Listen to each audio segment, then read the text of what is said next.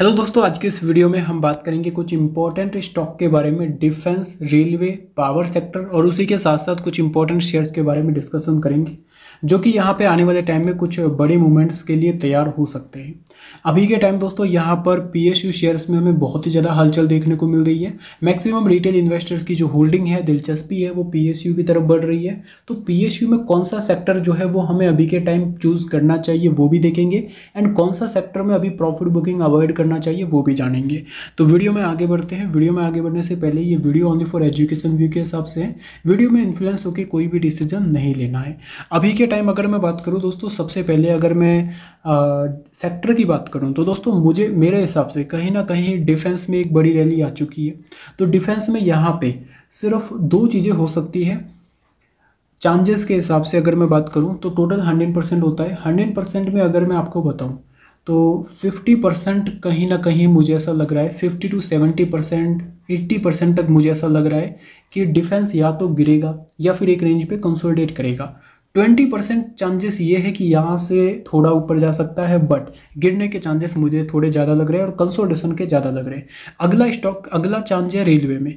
Railway में दोस्तों यहाँ पे मुझे क्या लग रहा है? यहाँ पे मुझे तेज़ी की अगर मैं बात करूँ ना तो तेज़ी के चांसेस ऑलमोस्ट यहाँ पे थर्टी परसेंट फोर्टी परसेंट लग रहे हैं बट कंसोल्टेशन करेक्शन के जो चांसेस है बजट तक वो यहाँ पे कहीं ना कहीं मुझे 50 परसेंट तक के लग रहे हैं। अगला है पावर सेक्टर जिसमें यहाँ पे आपके आते हैं S J V N N H P C वगैरह। इनमें मुझे यहाँ पर क्या लग रहा है कि बजट तक एक अच्छा मूवमेंट में भी दिख सकता है, जहाँ पे मेरा चांसेस है कि 60 टू 70 परसेंट एक अपसाइड मूव दिख सकता है, बाकी 30 परसेंट कहीं ना कहीं हो सकता है कंसोल्टेशन भी देखने को मिले। लेवल्स यहाँ पे हम देख लेते हैं, कौन से लेवल्स हमारे लिए इंपॉर्टेंट रहेंगे। डी में ऑलमोस्ट हमने अच्छा प्रॉफिट किया। थ्री सिक्सटी की अपनी बाइंग थी फोर फोर्टी पे निकले अच्छा बेनिफिट निकाला। हमने यहाँ से बड़ा ऑर्डर मिला था कंपनी को। डी सी एक्स में इंपॉर्टेंट सपोर्ट है 415 का।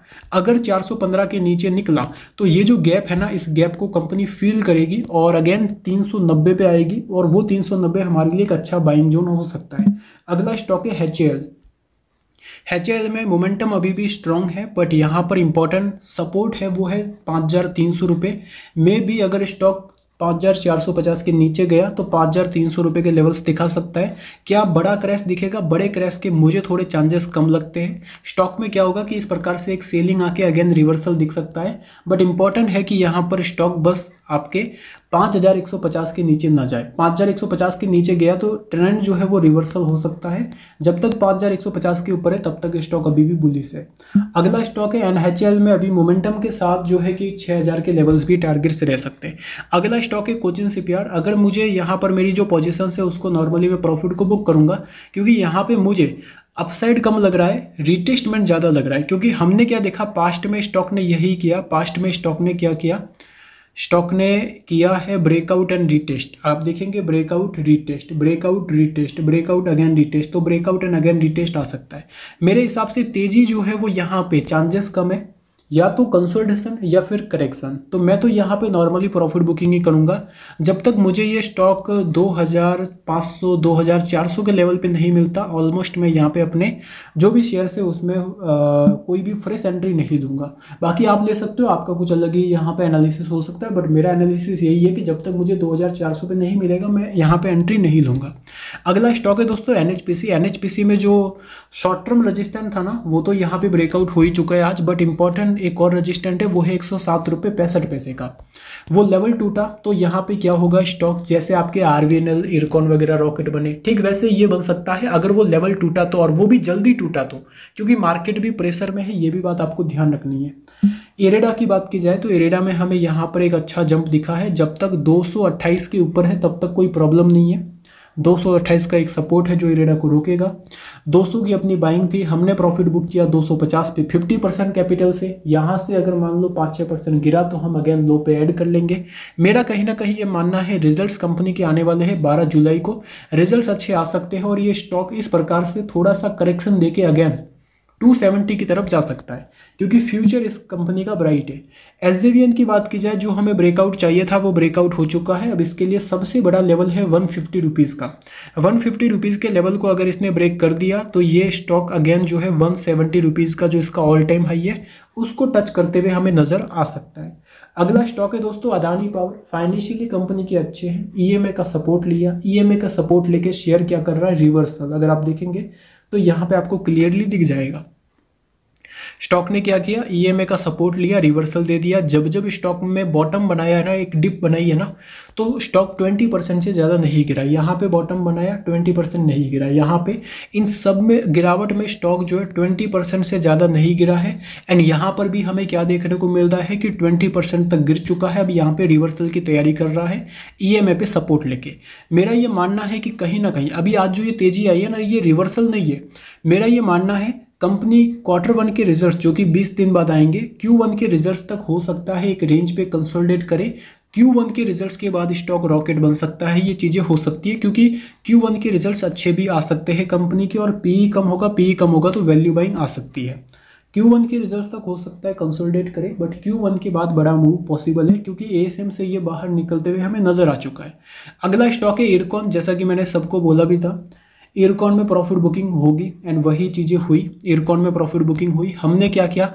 हमने यही किया 280 पे अपना एंट्री थी। 280 पे एंट्री बनाई। 330 पे अपना सारा कैपिटल निकाल दिया। टेलीग्राम पे भी मैंने आपको अपडेट दे दिया। आप चाहे तो टेलीग्राम में भी ज्वाइन हो सकते हो। लिंक आपको डिस्क्रिप्शन में मिल जाएगा।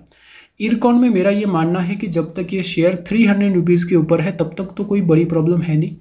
अगर थ्री हंड्रेड रुपीज़ के नीचे आया तो क्या होगा? ये जो ई e दिख रहा है ना आपको, इस ई e पे सपोर्ट लेगा मतलब 280 पे सपोर्ट लेके अगेन रिवर्सल दे देगा। अब यहाँ पे इरकॉन में दोस्तों, अभी के टाइम मेरा ये मानना है कि कहीं ना कहीं ये स्टॉक थोड़ा सा रुकेगा। क्योंकि आरवीएनएल में अभी तक इतनी बड़ी गिरावट हुई नहीं है। आरवीएनएल नॉर्मल थोड़ा सा करेक्शन दिया है। अब आर कंसोलिडेट भी करेगा। तो इरकॉन मुझे ऐसा लग रहा है कहीं ना कहीं कल एक रिवर्सल देगा। रिवर्सल के बाद अगेन थोड़ा सा करेक्शन दिखा सकता है। इरकॉन में फ्रेश बाइंग पहला तो लेवल है two three hundred and ten दूसरा लेवल है 300 तीसरा लेवल है 290 ये तीन लेवल है जहाँ पे हम धीरे धीरे करके ऐड कर सकते हैं। एक साथ ऐड हमें नहीं करना है। अगला स्टॉक है Rail Vikas Nigam R V N L R V N L की बात की जाए, बहुत बड़ा जंप दिखा। इसको कैप्चर भी किया। आज सुबह सबको हाई पे निकाला भी है। आर वी एन एल में इंपॉर्टेंट लेवल है फाइव हंड्रेड रुपीज़ का। अगर स्टॉक फाइव हंड्रेड से ऊपर टिक जाता है, तब तो ठीक है। अगर 500 से भी नीचे निकला तो स्टॉक के लिए सबसे बड़ा सपोर्ट है चार सौ पैंसठ, चार सौ से नीचे स्टॉक जाना मुश्किल है। अगला स्टॉक है दोस्तों आई बट आरवीएनएल में मुझे यहाँ से अपसाइड पोटेंशियल थोड़ी कम दिख रही है। हो सकता है कल दो तीन परसेंट, पाँच परसेंट मॉर्निंग में ऊपर जाए बट उस पाँच परसेंट के चक्कर में हमें नहीं पड़ना है। कोई भी मान लो कल पाँच परसेंट छः परसेंट मॉर्निंग में ऊपर भी चला जाता है तो वहाँ पे फोमो में आके ऐड नहीं करना है। अगला स्टॉक है आपका आईआरएफसी आईआरएफसी में यहाँ पर अगर आप आईआरएफसी में एंट्री बना रहे हो ना, इससे अच्छा बेटर ये है कि इरकॉन की तरफ़ जाओ। क्यों? क्योंकि आईआरएफसी में ओएफएस का डर है, इस वजह से इसके ऊपर प्रेशर दिख रहा है और ये चीज़ मैंने आपको पहले भी बोल दी थी। इरकॉन आरविनल आईआरएफसी इसमें तीनों में अपने टेलीग्राम के टारगेट हिट हो चुके हैं। यहाँ से मेरा क्या मानना है? यहाँ से मेरा मानना है कहीं ना कहीं, जब तक ये शेयर 192 के ऊपर है, तब तक तो कोई प्रॉब्लम नहीं।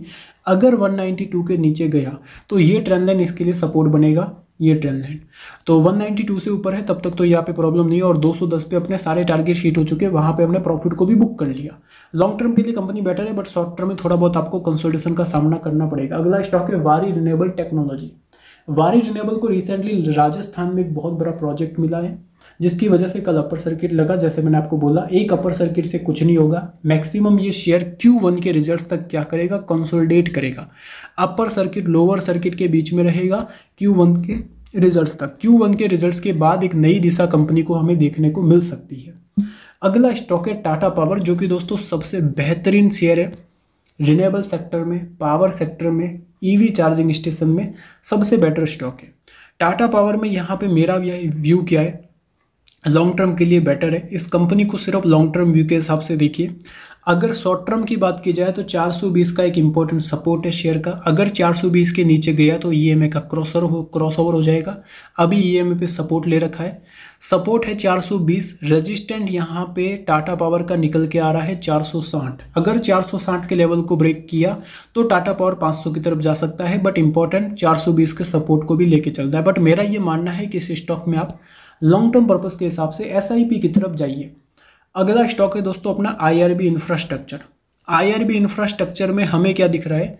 मोमेंटम अभी भी स्ट्रांग है। कंपनी ने ईएमए पे ईएमए का डाउन साइड क्रॉस ओवर किया। अगेन यहाँ पे ईएमए के ऊपर गया मतलब ईएमए पे एंड ट्रेंड लाइन पे सपोर्ट लेके शेयर ऊपर जा रहा है। ये ट्रेंड लाइन बहुत पुरानी है। सपोर्ट लिया जम सपोर्ट लिया जम सपोर्ट जम अगेन यहाँ पे सपोर्ट लेके जंप दिखा सकता है आईआरबी इंफ्रास्ट्रक्चर आईआरबी इंफ्रास्ट्रक्चर एक बहुत बड़ा पैटर्न भी क्रिएट कर रहा है, जो कि ऑलमोस्ट हम इसे असेंडिंग ट्रायंगल पैटर्न भी मान सकते हैं। बड़ा ब्रेकआउट हो सकता है बट आईआरबी में मेरा यही कहना है कि साठ का अपना स्टॉप लॉस रहेगा। सिक्सटी सिक्सटी फाइव की, सिक्सटी फोर की एंट्री थी। साठ रुपये का स्टॉप लॉस रहेगा। टारगेट रहेंगे यहाँ से एट्टी रुपीज़ तक के। तो ये मेरा यहाँ पर कुछ व्यू था। ये ओनली फॉर एजुकेशन व्यू के हिसाब से दोस्तों अपना यहाँ पर व्यू था। Thank you